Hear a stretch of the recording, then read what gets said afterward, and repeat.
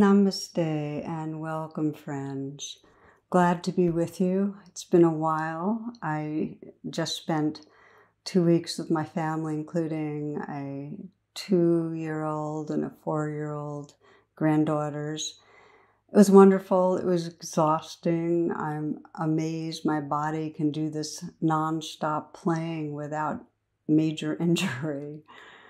You know, a friend was telling me about uh, touring a hotel to book for an event, and he was with the representative, and he commented to this representative that, you know, the hotel was kind of aging. It seemed pretty old. And the representative said to him, You know, we don't use the word old, we use the word seasoned.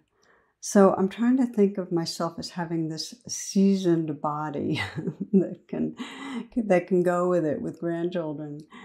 Um, you know, I was talking to a, a friend about the intensity of being with young children. And she reminded me of this study that was done, this is decades ago, of Harvard football players who spent a day in a nearby nursery taking care of the children. And then they were interviewed, and 100% of them said it was um, way more stressful, intense, and demanding than a day of uh, practice, a day of training it's hard. And what it made me think of really was how many, mostly women, uh, spend a lot of time with young children, how challenging and important that work is, and how impossible it is. And I think of this for mothers so often not to get stressed and sometimes reactive or angry and then feel bad about themselves for it because you know, when life doesn't cooperate and children don't cooperate, um, our nervous system is designed to react. And of course, and we're going to be talking about aversive emotions, they arise in all sorts of situations, not just childcare. It's whenever life doesn't cooperate. Ram Dass, many of you might remember, a spiritual teacher from one of the great ones from our generation, said that if you think you're enlightened, spend a week with your family. You know, so uh, we don't really need others even to stir up difficult emotions. Our minds can do it. Uh, another friend shared about a, a greeting card she received, and it's this serene drawing of the Buddha sitting, you know, in lotus position with his legs crossed and his eyes are closed. And then there's this thought bubble above his head, and it says, I hate my thighs. we know what our minds do, whether we're meditating or moving through the day, they get us into trouble. So I bring this up because uh, now more than ever, our world is changing so fast that our bodies and our nervous systems can't keep up, and it creates a a deep sense of insecurity and ungroundedness and you know, there are spiking levels of anxiety, depression. Um, so, this brings us to our, our theme for this talk, what we'll explore together, which is something I explore regularly because it's so um, core to the spiritual path is how do we navigate the unpleasant emotions? How do we navigate when we get triggered by the repeating visitors of whether it's anxiety or anger or fear or shame, how do we navigate in a way that really serves awakening, serves uh, spiritual transformation? So, as uh, I move through this, you might consider what you'd like to attend to because we'll do a meditation together what challenging emotional weather system do you regularly experience?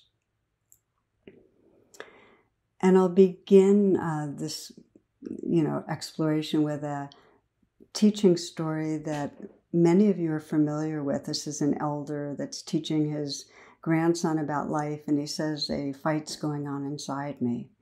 And he says, It's a terrible fight it's between two wolves, and one is evil, and he's filled with anger and greed and guilt and fear and a lot of ego. And then he said the other wolf is good, and that wolf is filled with joy and peace and love and truth and compassion. And the same fight is going on inside of you and really every human being. And so the grandson thinks about this and he then asks his grandfather, Well, which wolf's going to win? And the elder replies, Whichever one you feed. So I'd like to offer a bit of a revision. Uh, I have a, a dear friend, uh, Stephen Josephs, who puts it this way He says, There's no bad wolf. And it's true. What happens is that we sometimes have a, a dominance of primitive emotions, we get stuck in them. And sometimes we have access to our more evolved emotions, and we need to feed both, really. You, you might remember Rumi's guest house, where he says, Welcome the guests, all of them. So, there are two basic ways that our meditation training helps us with difficult emotions. And the first one is uh, it's like feeding the wolf with the evolved emotions. It's to intentionally cultivate wholesome emotions. In other words, to do practices that help us develop loving kindness and generosity and gratitude. So that's the first domain of training. And the other is to bring mindfulness and compassion to the difficult, more primitive emotions. And this will be our focus for today. So, a key understanding, and this is one that can really radically shift how we relate to emotions, is that they're all from the same source.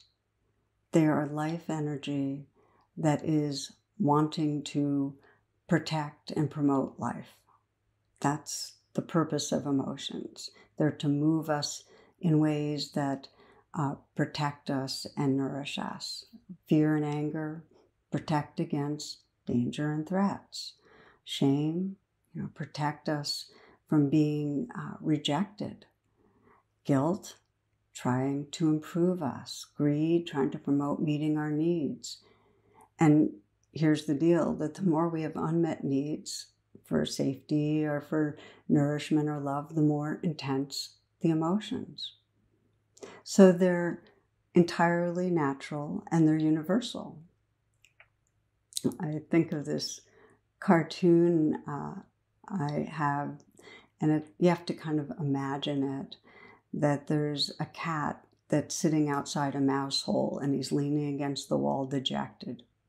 And in the mouse holes, the mouse, who's a psychiatrist, and the mouse is saying to his patient, Don't worry, fantasies about devouring the doctor are perfectly normal. and so it is. These emotions are in service of meeting our needs, and they're necessary to survive and thrive, and in a really deep way. And, and this is what for me is so powerful. They're all expressions of life loving life. Life loving life. And they may get twisted and cause pain, but their essence is life loving life. And that really helps me. I'll be meditating or moving through the day, and if I feel a, let's say, a clutch of fear or anxiety about what's around the corner, and I can pause and really sense to myself, okay, so this is just that powerful life energy, loving life, wanting to protect life. And if I can just remember that and in some way appreciate that that's what this is, the sense of my own being becomes enlarged. And it's no longer, um, there's no longer any suffering with it uh, there's a sense of this is a current that's moving through me. It's okay. You, you might imagine it for a moment. Maybe you can even sense right now in your body some uh, energy of anxiety or fear or re- remember a recent time with it. And just sense that this energy is life protecting life that's trying to help you. And just sense that you could even say thank you, just to honor it as a basic life energy. And notice that that really shifts your relationship with fear. You might uh, listen to these words from Hildegard von Bingen. She says, This is a mystic saint. I, the fiery life of divine essence, am a flame beyond the beauty of the meadows. I gleam in the waters. I burn in the sun, moon, and stars. I awaken everything to life. The air lives by turning green and being in bloom. The waters flow as if they were alive. The sun lives in its light, and thus I remain hidden in every kind of reality as a fiery power. Our emotions arise from this fiery power, life, loving, protecting, promoting life. Okay, so if these energies are natural and universal. This is life protecting life, loving life. Why do they feel so wrong? Why do we feel that we shouldn't feel fear, anger, hatred? You know, why does something feel wrong when they come up? And the reason is this that when these energies arise, they can take over. The on button gets stuck. And when that happens, the whole sense of who we are gets kind of possessed or identified with the emotion. And we get small. And I find it really helpful to think of it like a hose with water flowing through it. And when the hose gets twisted or torqued, which is what happens with our emotions, when we start having fear thoughts that feed the fear feelings, that create more fear thoughts, and they start circling. And rather than the emotion being kind of healthy and telling us what we need to do and what is going to serve us, it just becomes a circling energy that's kind of caught in our body. And our whole sense of who we are becomes a scared self. That feels bad. So I'm just giving you an example of how the primitive energy can actually end up creating suffering. Imagine that same hose gets untorqued, untwisted, and the water can flow through naturally. Then it becomes like a current in our larger system.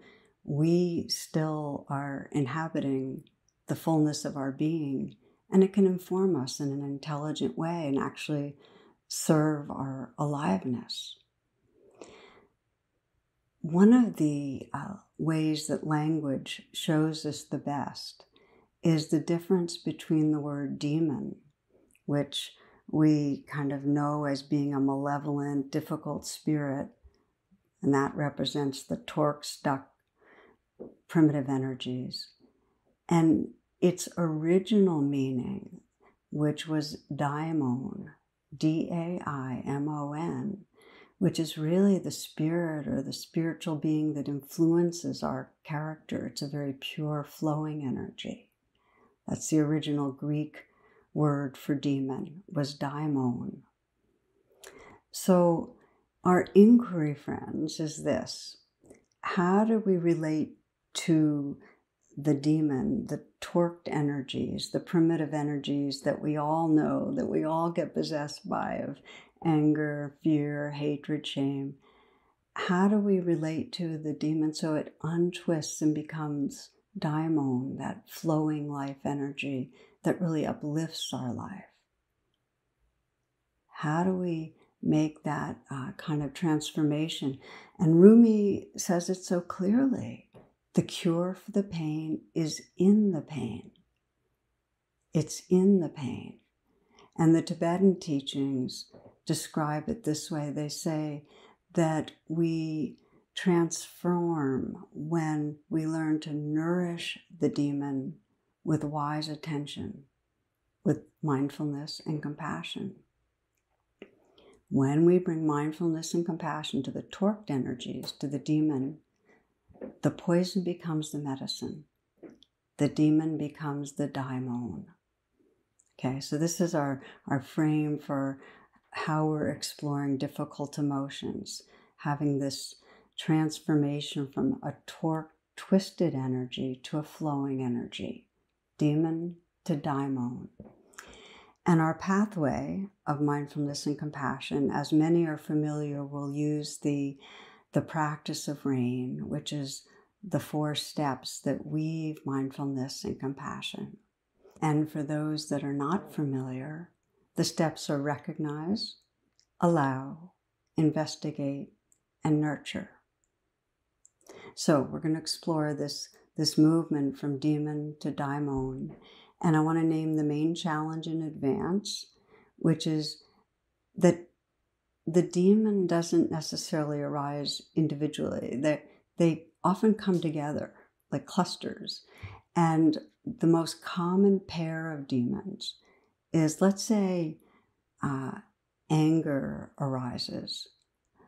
It often gets paired with shame because we have a reaction to the demon that arises with aversion. We feel ashamed of or hating our anger. So they arise together. We often call this the second arrow, that first fear or anger or hatred will arise, and then shame about the fear or anger or hatred.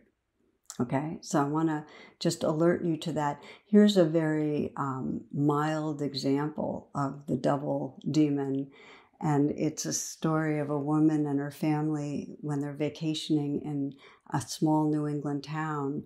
It's the same town where the actor, now deceased, many of you probably weren't alive when he was so famous, Paul Newman, he and his family often visited. So she decides one Sunday to, after she does this brisk walk, to stop at a and get a double dip chocolate ice cream cone at this bakery coffee shop and there's only one other patron in the store, and that's Paul Newman. So her first response is feeling a kind of burst of kind of anxiety or fear or self consciousness.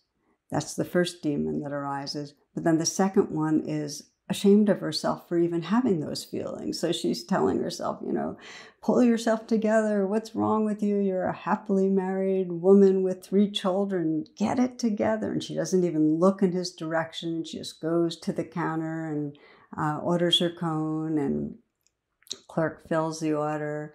And she takes her cone and then goes out the door and just kind of gliding out, just not even glancing in his direction. So she gets to the car and realizes she doesn't have her cone. Back into the shop she goes, expecting to see it in, on the counter in the clerk's hand or whatever, and no ice cream cone in sight. So finally she looks over at Paul Newman, and his face breaks into this familiar, warm, friendly grin, and he says to her, You put it in your purse. so paired demons, you know, and often they lead us to actions that we regret. You know, we have the insecurity and then we feel bad about ourselves and then we do just the thing that creates more insecurity.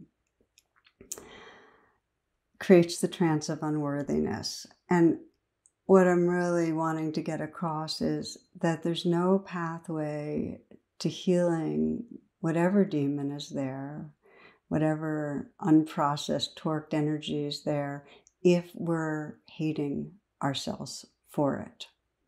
And often that's the first place we have to pay attention, is how we're relating to the difficult energy. So, uh, I'd like to share a story of a woman who uh, was working with uh, difficult energies and how that kind of transformation, how the poison became the medicine for her. And this was last year. Uh, had several sessions with a woman. Actually, she worked at a nonprofit I'm involved with, and she leads meditation at that nonprofit, so she practices. Single mom, uh, under a lot of financial stress, two children. She has been regularly sending money to her family in Guatemala. Very strong young woman. So she shared with me her challenges with her younger son, 16 years old, low self esteem, really playing a lot of video games and drugs, doing a lot of vaping and edibles. And she would set these boundaries, uh, you know, about helping in the house and schoolwork and drugs. And his compliance was erratic. So she'd naturally get angry, have a lot of judgments, let him know how she was feeling, and he was increasingly withdrawing. So there was a standoff, a lot of distance. So we explored rain together, and she began with the demon of anger, this kind of just pretty chronic sense of blame and judgment towards him, and recognized it, named it, allowed it to be there, just said, Yes, okay, this is what's here right now. And then she began to investigate. And she found that under the anger, when she opened to it, was fear. And the fear was that, you know, he's going to have trouble in his life, he's going to have a bad life. And that went right to self blame. In other words, her anger turned on herself. Shame, the belief I'm a bad parent, you know, it's my fault, I'm not present enough, I don't, I'm not firm enough on boundaries, I'm too judgmental, you know. This was the double demon. She was angry and also ashamed of herself. And she went more deeply into the shame, um, feeling it in her body, felt that kind of sinking, aching, powerless feeling in her chest, in her belly. She could feel this kind of crying place in her heart. And it was just saying over and over again, I can't do it right. I can't do it right. So, this is the pain, the, the pain of the shame demon and she could feel it as something that had been there her whole life and began weeping really deeply. Very painful. So, part of investigating is to say, well, what does that place most need? And when she asked herself that, it was really to trust I'm okay, that I love him, that I'm lovable. And so I invited her, as I often do, do, to put her hand on her heart and to offer self compassion. But she didn't feel like she had any access to self compassion. She felt too small. She felt too bad. And so, as many of you know, um, the nurturing of rain doesn't have to come from yourself. You can bring it from any source you can imagine. So I asked her, Well, who do you trust? And she said, I trust my mother and my grandmother. Her mother's not alive anymore. Her mother died actually when she was quite young. Her grandmother brought her up, her abuela, and raised her. Very strong, loving, wise matriarch. And so she invoked her. She felt her grandmother's presence. And, uh, you know, I said, What would your grandmother say to you? And just let, let in your grandmother's words. And her grandmother said to her, Querida, querida, it's dear, dear, you have a beautiful, loving heart. And, and just kept repeating those words. And she started feeling her mother and her grandmother and her great grandmother, and the whole, uh, you know, lineage of female ancestors kind of surrounding her and their love and strength flowing into her. And uh, really, relaxing into that. And then we went into what's called after the rain. After the rain is when you're not doing anything, rather resting in and getting familiar with the presence that's opened up. And she could just feel what she said is a wide open heart and sense that open hearted presence as more who she was than any story of a failing parent, any anger towards a son. So she could hold her imperfect parenting and include all parts of her herself and include her son. so, just to say, the demon energy that was all torqued, that anger and that shame, when it untwisted, became a really vast field of compassion, became daimon, that energy of loving connection. Now, some comments for you. First is rain is not a one shot. When we've had, you know, over and over again, the experience of being caught in the demon, the primitive energies, it takes repeated rounds of untwisting. And it was true for her. She had to do, she kept getting triggered by anger and she'd keep having to, you know, get in touch with feeling angry and then bad about herself and feel that being held and nurtured by ancestors. And that repeatedly freed her up, her heart to be more open and loving with her son. And a few days of after we practiced together, she was reflecting on her son and had this insight that she could see how his escaping drugs and online and so on came from his feeling of being flawed, his trance of unworthiness, his shame demon. And it just brought up this really deep tenderness in her heart. And so she be, started this loving kindness practice where she would just hold him in her heart, in her mind's eye, and, and sense his goodness. And she brought it into her daily life. She made a kind of commitment every day. I'm going to, in some way, let him know I see his goodness in words or in actions or by touch. And that softened things. She tried to be as firm as she could and clear about boundaries, but it was communicated from a place of respect and care. And something came through because they began over weeks to, to talk more, to have more real conversations. You could sense the daimon, the that energy flowing in her. So a few more comments. Uh, for this woman, during the, especially during that first rain practice, she really plunged deeply into the raw pain of shame. And this is part of the healing. They say that your issues are in your tissues, that in order to untwist the emotional energy, you actually have to contact it, that we have to directly experience in our bodies what's going on for there to be a loosening, an untwisting, and untorquing so it can flow more. We have to feel our feelings. The cure for the pain is in the pain. And sometimes the pain is really intense. And so, if there's been a lot of trauma, it's really important to go slow, to have support, to resource yourself, to you know really hold yourself in love really be gentle. And when we touch it, it's strong. I remember once I received a note, uh, this was a couple of years ago, from someone along with a very generous donation. And he said, Thanks a lot. Your rain meditation was so intense, it made me throw up. Afterwards, I repeated it and it helped me a lot. Thanks a lot. So I share this both because it was a, maybe one of the most original notes I've heard. you know, thanking me for having a meditation that made this person throw up.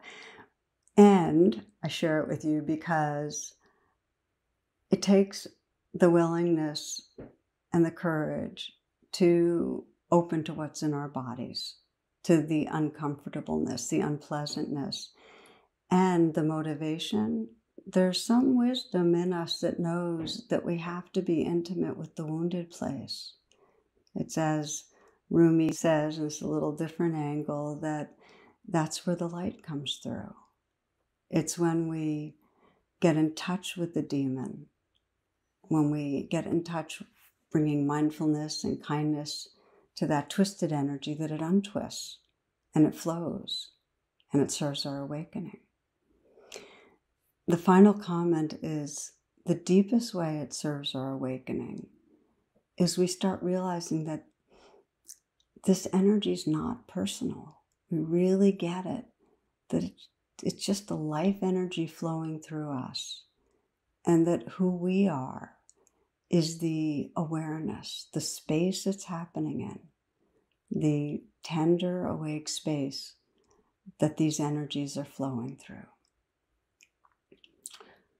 Okay, friends, enough words. What I'd like to do is have you explore a little bit this bringing rain to something difficult, this movement from demon to daimon.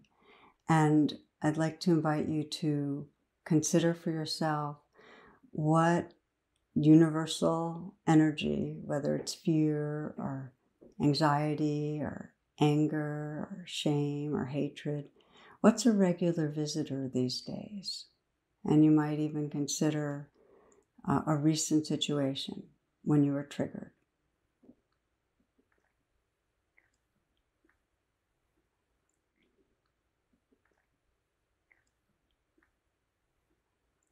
Again, recalling Rumi's words the wound is where the light enters you. We become available for awakening when we turn towards the pain, when we really get it that this can turn to medicine. So you might sense your intention. This is sometimes described as the bodhisattva aspiration. May this suffering serve to awaken. Just feel that sincere intention. May this suffering serve to awaken.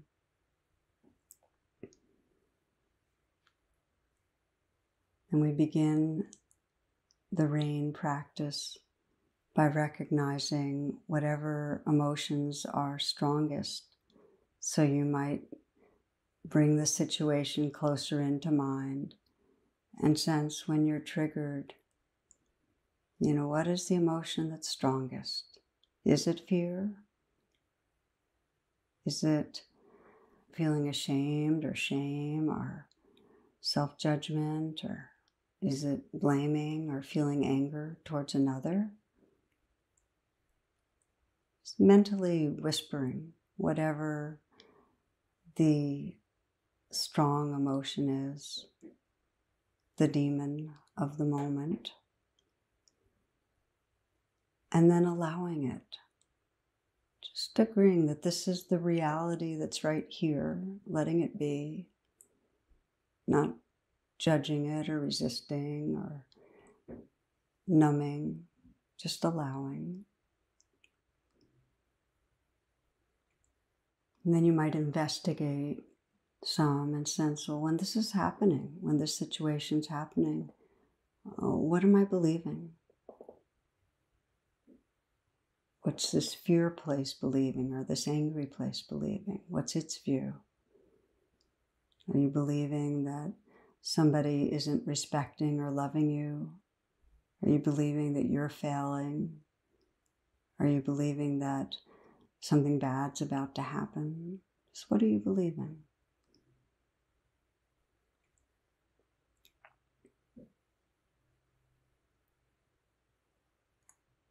And the most important part of investigating is with whatever you're believing, where do you feel it in your body and what does it feel like? And just check your throat, your chest, your belly.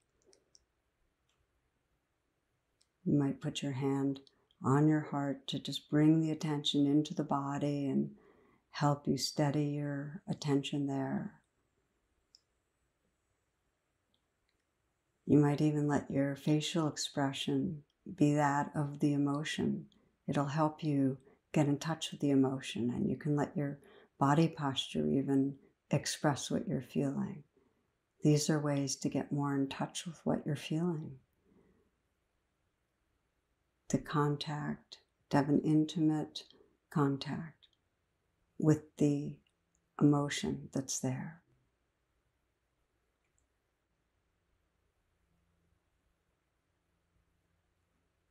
letting yourself feel it in a direct way, and then asking, you know, what does this place most need? What's needed? How does it want me to be with it? Just to ask and listen from the most vulnerable part of you. What is that? What is what's needed? What does that vulnerable or wounded place need? And sometimes it needs just to be seen. Sometimes it needs to be understood, cared about, forgiven, to feel safe. Sometimes it needs for you to trust. What's the message it needs?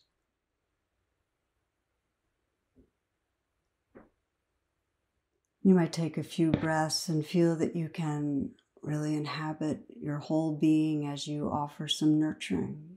Let that hand be on the heart. Let the touch be tender. And to offer what's needed, to offer the message, it might be simply trust your goodness, or it's okay, or I'm here and I'm not leaving. And if it's difficult to offer a message to yourself, you might call on a larger sense of loving. You might call on someone that you love, that you trust. Could be a person that's alive or not alive. It could be your dog or spiritual figure. Could be formless, loving presence in the universe. But just to call on that, invoke it and let the message and let the care come from that. What's most important is let it in. Allow the care to move through your hand, into your heart, into where the vulnerability is, washing through you. Light, love, care. And if it's hard to let in, pray to let it in.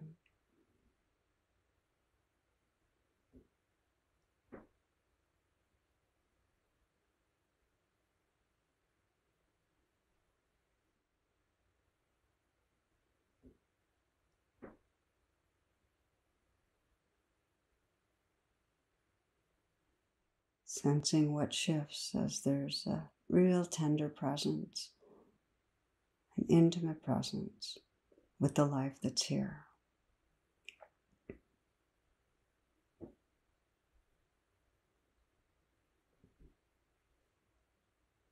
Taking some moments to, to rest in that presence, to rest in perhaps a little bit more of a sense of spaciousness, of tenderness, of compassion, just noticing the difference between the sense of who you were when there was that stuckness of emotion and the quality of awareness, kindness, awakeness that's here. That's the shift that some describe is from the demon, the more torqued energy, to when there's flow, the daimon. There's a sense that it's nourishing your spirit, that energy now.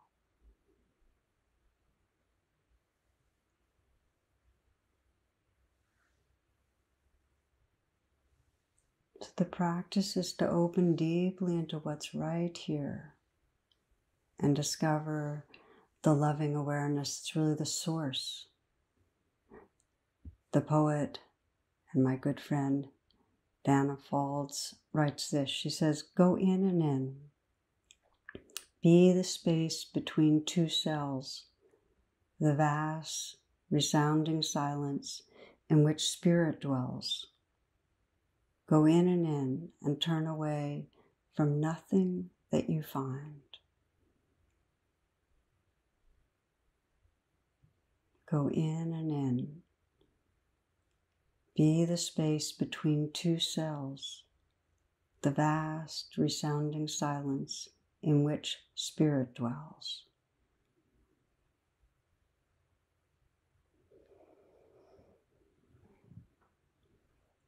So, as you're ready, if your eyes are closed, you might open them. We're exploring really how we awaken, relating to uh, the more torqued energies, the demon, becoming daimon, serving love, understanding, aliveness. The final part that I'd like to look at is that just as these energies are not personal, our healing isn't done necessarily alone. We we need each other. We awaken together. There's a, a story I've always loved. This man who's uh, driving, he's lost in the country and he's trying to reach for his map, but as he does, his uh, car d- drives off the road and gets stuck in a ditch. And so he's not injured, but his car's deep in the mud. And so he walks to a nearby farm to ask for help. And uh, the farmer says, Well, Warwick can get you out of that ditch, and points to this old mule who's standing in the field. And the man looks at this haggardly mule meant the farmer, and the farmer's just there repeating, Yep, old Warwick can do the job. So the man figures he has nothing to lose, and the two men and Warwick make their way back to the ditch, and the farmer hitches the mule to the car. And with a snap of the reins, he shouts this. He says, Pull Fred, pull Jack, pull Ted, pull Warwick. And the mule pulls the car from the ditch with very little effort. The man's amazed. He thanks the farmer, pats the mule, and asks, Well, why did you call out all those other names before you called out Warwick? And the farmer grins and says, Well, old Warwick is just about blind, but as long as he believes he's part of a team, he doesn't mind pulling. so it's fun. And the truth is, we are in it together. If when you're practicing with a difficult energy, you can remember that this is, we're all working with these energies and we support each other in it. Uh, it really makes a difference to feel that we're uh, dedicated to discovering this potential to live from love, to live in awareness. And I, as many of you know, I lead what's called satsang, which is gatherings. It's once a month or most months. And we share what's going on in our lives in these gatherings. And I remember a few months ago somebody sharing about not feeling seen or understood by their family of origin, really feeling invisible, and how that played out in so many relationships that hypersensitivity to not being seen or understood, and how the old hurts would get triggered. And someone else shared something very, very similar. Um, and they felt so accompanied by each other and being witnessed by the group. And the truth is, the wounds that we have, so many share similar wounds. We all feel insecure. You know, we all feel insecure. And it's not personal. And we find that out. We find that out when we start communicating with each other. And we need to actively remind each other of what we forget. I mean, each one of us, when we get caught in these, uh, caught by the demons, when we get possessed by insecurity or fear, we forget the vastness of our being, the mystery, the love. We forget, we lose perspective. So we need each other to remind us in very simple ways that we're loved, that we're accepted, that we're good, um, that we're not alone. So I want to share uh, an article that I read, and this is written by uh, Tom Junod, Esquire, 2014. He interviews this young man who prosecutors uh, said set out to commit a mass shooting, but this young man was caught. And before he could get started, and he pleaded guilty to carjacking and served some time. So the interview happened after he got out of prison. And as it turns out, when he got out of prison, he looked at his old high school yearbook and he was shocked because fellow students had signed it and said, let's get together over the summer. People had reached out, but he had been so caught in himself. he hadn't seen that. And on the day that he set out armed with guns and ammo, he said he didn't want to do it. It was like some painful duty that he wanted attention. And he said if someone would have come up to him and said, You don't have to do this, you don't have to have this strange strength, we accept you. We accept you. He said, I would have broken down and given up. And, and that really touched me to read that. Because how many of us, if if someone at the right moment just put a hand on our shoulder and said, I'm here with you, looked at us with care, how many of us we just had that reminder that our hearts are good hearts um, could have shifted something we're all nourished by by these reminders. And and so you might take a moment right now and scan and sense those in your life who maybe you'll be in touch with over the next day or two. And maybe there's someone with some vulnerability who's having a hard time and that you might say something to. Perhaps you could write an email but something that will nurture, something that helps the demons become the daimons, that will free them up. It's a beautiful thing to offer. And inwardly, as a way of closing, I'd like to take a moment and have you sense what happens with even a slight gesture of kindness you might just sense again as you scan within if there's any vulnerability, anything you're afraid of that's coming up, any way you're feeling hurt or alone, any part of you that has some distress, maybe physical discomfort. And again, just to simply put your hand on your heart and in some way offer some care.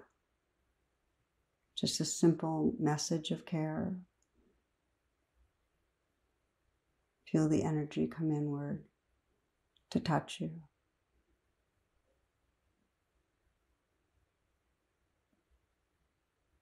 There's such power to even remembering the word kindness. Such power to offering it inward and to bringing it to our world. Closing words. This is Jeff Foster, quote I love. The most potent medicine is this ancient commitment to never abandon yourself, to discover wholeness in the whole mess, to be a loving mother to your insides, to hold the broken bits in open awareness, to illuminate the sore places with the light of love.